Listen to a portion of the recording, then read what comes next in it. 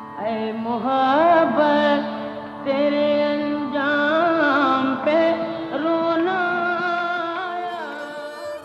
मोहब्बत तेरे अंजाम पे रोना आया। जाने क्यों आज तेरे नाम पे रोना आया? ये गज़ल सुनी होगी आपने। किसकी है ये गज़ल? चलिए हिंट देते हैं। जब हुआ ज़िक्र जमाने में मोहब्बत का शकील मुझको अपने दिले नाकाम पे रोना आया। शकील बदायूनी की गज़ल। ये गज़ल जितनी शकील बदायूनी की है, उतनी ही बेगम अख्तर की भी। पान में घुली हुई उनकी आवाज़, वो नाक पर सितारों की तरह चमकता हुआ लौंग और उनकी हँसी में छन कर आती हुई गालिब मोमिन जिगर, इनकी गजलें।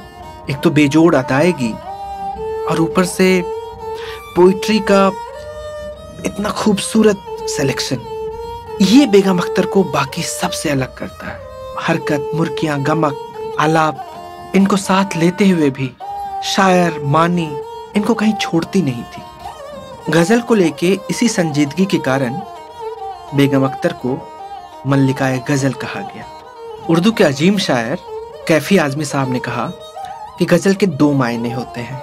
पहला, गज़ल, और दूसरा, बेगम अख्तर। लखनऊ से 80 मील दूर है फैजाबाद। आज का अयोध्या। इसी फैजाबाद में अख्तरी बाई का जन्म हुआ था 1914 7 अक्टूबर को। फैजाबाद में जन्म होने के कारण उनका नाम पड़ा अख्तरी बाई फैजाबादी। पर यह नाम उनका पहले से नहीं था। आपको उनके बचपन का नाम पता है? बिब्बी। फिर बिब्बी बड़ों के कहने पर पटना के मशहूर सारंगी उस्ताद इमदाद खान साहब के पास गायकी सीखने के लिए गई। ग्यारह बारह साल की हुई तो अपनी माँ के साथ कलकत्ते गई। वहाँ पटियाला घराना के मशहूर उस्ताद अता मोहम्मद खान साहब के साथ उनकी तालीम शुरू हुई। खान साहब बहुत ही सख्त आदमी थे। रोज सुबह, भैरव और शाम में राग यमन में रियाज होता था। बहुत जल्दी जगते थे और खुद इनको भी बहुत जल्दी जगा देते थे। और हालत ये थी कि रात में तीन बजे, जारे की रात है, तीन बजे भी, अगर उस्ताद ने आवाज़ दी, बिब्बी तो वो नींद में भी आ आलाप लगाने लगती थी। इतना डर था उनको 1945 में बेगम अख्तर वापस लखनऊ लौटी। उस समय की नामी वकील इश्तियाक अहमद अब्बासी से उनकी शादी हुई।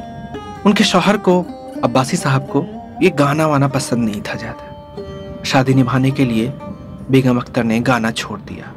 पाँच साल तक कुछ नहीं गाया। पर हुआ ये कि वो काफ़ी बीमार रहने लगी, बेचैन रहने लगी, टूट सी गई थी। तब अब्बासी साहब को लगा कि बेगम अख्तर की जान गायकी में ही बसती है, और वापस उन्होंने फिर से गाना शुरू किया। उनके चाहने वाले चाहने वालों की पूरी एक दुनिया थी जो कि इसी दिन का इंतज़ार कर रही थी।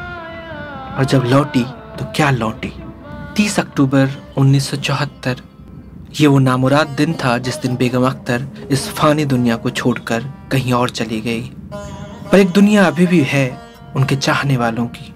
और जब भी आकाश में कोई तारा टिमटिमाता है तो उनके नाक के लौंग की याद आती है। और एक आवाज़ आती है कान में वो जो हम में तुम में करार था। वो जो हम में तुम में करार था, तुम्हें याद हो कि न याद हो? और हम कहते याद है। बखूबी याद नमस्ते